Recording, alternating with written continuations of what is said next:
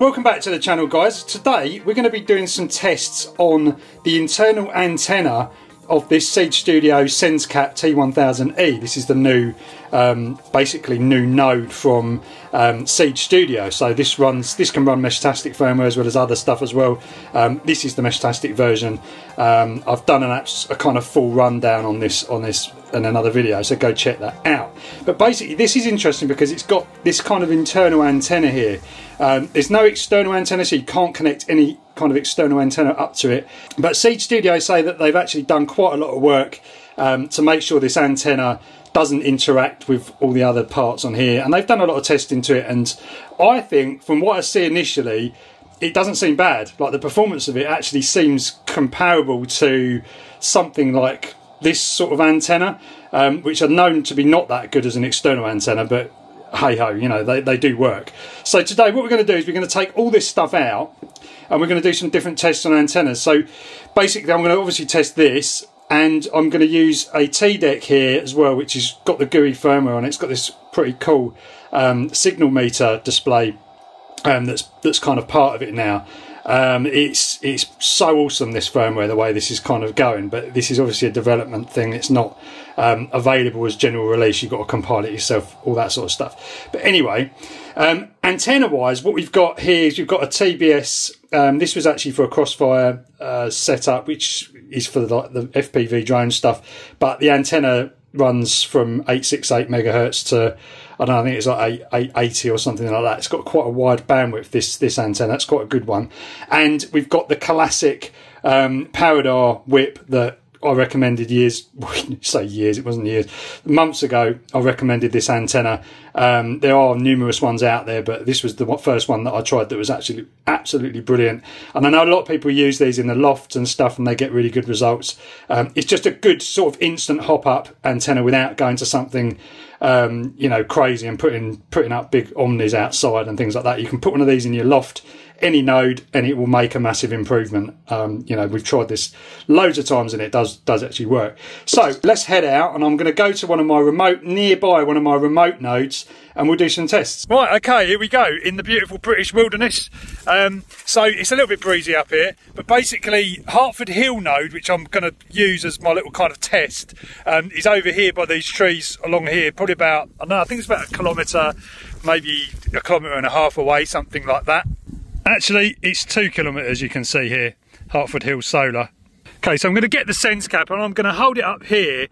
This is the antenna but I'm actually going to face it away first of all on purpose. I'm going to face it away from those hills, so it's facing the other way, just to see, you know, if it makes any difference. We'll turn it around after, but let's get a signal check on that and see what that's performing like. I'll just carry on holding this here. Okay, so this is the app that's connected to the SenseCap, um, and I'm just going to search for Hartford Hill Solar, which is what we want here. And what I'm going to do is hit request position rather than trace route, because that will just give you a quick bounce and give you a quick signal report. Um, so, okay, so we've done that and it's saying minus 104. So that's minus 104. Let's do it again just to just to check we've we're in the zone. There you go. There is a variation. You see that minus 92 now. So the noise level is quite high, I've got to say. And we're getting minus five, minus 100 now, um, and 5.3. So, you know, you get the idea. Let's do it one more time. It's gone up now. Right, now let's twist it round so that it's actually facing the uh, the woods over there where the, where Hartford uh, Hill is. Right, so we're getting 99. So, you know, it's it's similar 97. That's not bad at all. I mean, if I stand up a bit, you're gonna might get a bit more wind noise from me, but um, I'll stand up a bit. 98. So, you know, it's between that 95 and that sort of 100 level not bad at all. I don't think that's bad from here. Let's compare that to the T-Deck with its with its little stubby antenna on. Obviously something's happening here. I keep getting messages coming, so we're obviously connected to something. Look at that, guys. It's a kite, I think, or kestrel, something like that. Okay, so now with the T-Deck, let's just find Hartford Hill again. Okay, so we'll just open Signal Scanner, um, and what we'll be able to do is get effectively all this really does is just sends like a, a, position request like I was doing before on the app. So let's try that to Hartford here you can see look, it's two kilometers away there. Um, so we'll just try that doing that. We'll hit that once and did that change? So we get no, we're getting 98 now. So minus 98. This is an omnidirectional antenna. These are known to be mm, average. This is one of the better ones. This isn't one of the the really bad ones. Some of them are terrible. I did measure a few different ones, and this one actually came out the best. quite low SWR actually. It's at 1.2 um, SWR on um, on 869.525. Um, so you can see very comparable to what we were getting on that SenseCap you know, the lowest we saw on the SenseCap was like minus 92. And this is doing minus 95, minus 97 pretty consistently. And the noise level is, the noise level is actually very low though. That's what I will say. Um, so yeah, you know, that's pretty good on the SenseCap's kind of point of view. But what I'm going to do now is I'm going to change the antenna on this and you'll see how this really does make a difference, hopefully. So here's the Paradar then let's give that a test and see. So, surprisingly enough, it's not actually that much difference. Let's try again. Doesn't make a huge amount of difference. I'm surprised by that.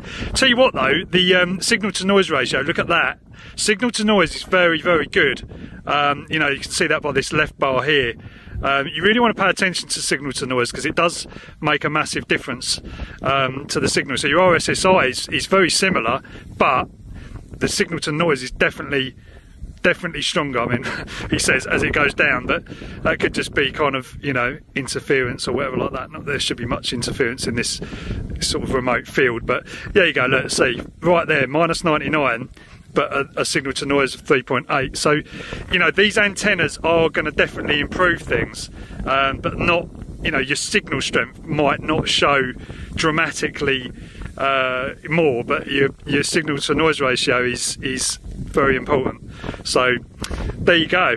I've got one more antenna I need to try, that little, uh, that TBS one. So over to this TB antenna, which I believe is a Moxon antenna. So I'm pretty sure we're pointing it the right way around orientation wise.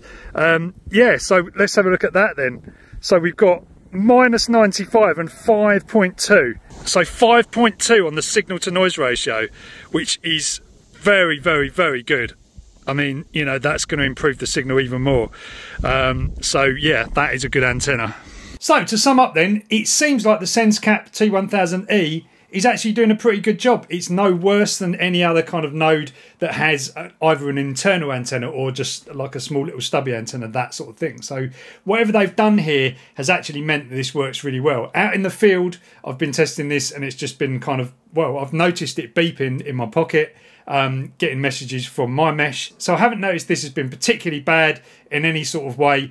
Um, so yeah, I'd be happy to use this generally as like a well I do I literally just shove this in my pocket if I don't want to take you know either the the T deck which has kind of become my daily driver now with this with this OS on it so yeah well done Seeed Studio so there's been some more other announcements of new products coming along as well um, and we're going to be featuring some, hopefully, some new ones that are coming along as well from from other brands. So stand by for that. Meanwhile, links to all this stuff are in the description of the video. Go check it out. And yeah, have fun with Meshtastic and Mesh Radio stuff. Catch you next time.